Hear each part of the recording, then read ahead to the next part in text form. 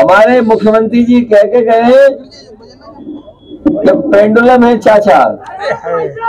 लेकिन हमारे मुख्यमंत्री को पता ही नहीं है भाई। ऐसा है, हमारे जो मुख्यमंत्री थे आज करेल कह के गए कि चाचा पेंडुलम है।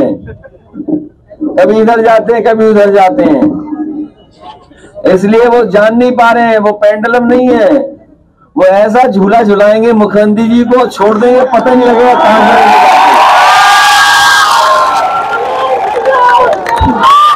पेंडुलम है है। ये जो झूला है, झूले की तरह ही तो पेंडुलम चलता है। वो चाचा को समझ ही नहीं पाए। ऐसा झूले बिठाएँगे, जब छोड़ देंगे तो कहाँ गिरेंगे जाके पता ही नहीं है।